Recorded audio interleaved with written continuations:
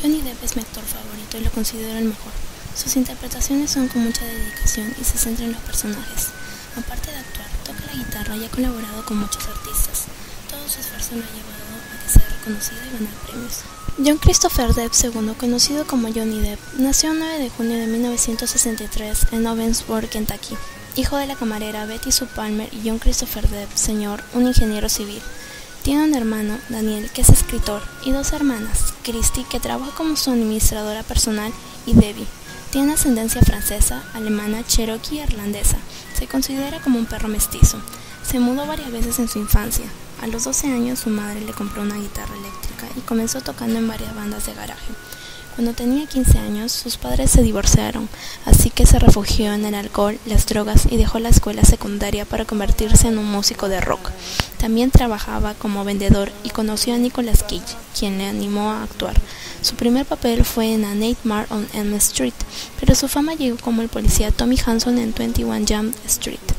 Se casó una vez con Lori Ann Allison de 1983 a 1985.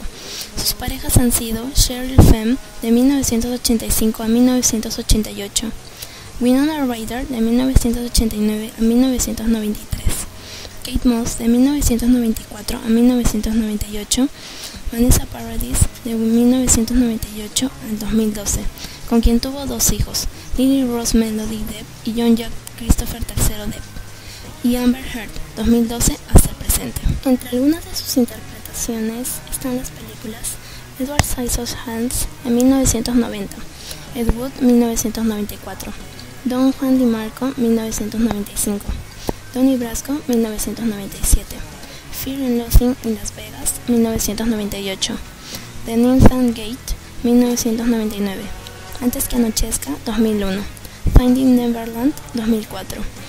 En todas las películas de Piratas del Caribe, Sleepy Hollow 1999, Charlie la fábrica de chocolates 2005, Corpse Bride 2005, Sweeney Todd 2007, Alice en el País de las Maravillas 2010 y Sombras Tenebrosas 2012 y ahora El Llanero Solitario en el 2013. Depp ha colaborado con el director y amigo Tim Burton en ocho películas. Johnny siempre se ha interesado por personajes peculiares, marginados o simplemente diferentes, como Edward Scissorhands o Willy Wonka. Vanity Fair publicó la lista de los top 40 celebridades de Hollywood con más ingresos a lo largo del 2010. Y Depp fue clasificado el número 2 en la lista, con ingresos estimados en 100 millones de dólares por sus películas.